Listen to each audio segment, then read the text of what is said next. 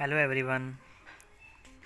In this video we will know that how to create pi wallet first open a browser of pi browser which download link is in given below. After this click on generate wallet. Then copy this. And after copying click on saved my passphrase and paste it on next page.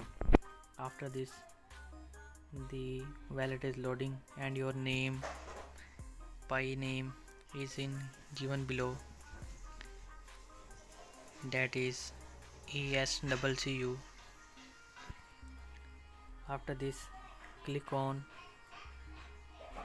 continue button read it as if anyone want to send you money pi coin then it will simply enter your name like ESCCU and send you by. So after this click on confirm button. It will enable notification if you have any notification or receive any money pi coin. So after this you can send and test it it is test phase. After this pi coin will be released. Click on your name which you want to send pi coins and amount and 0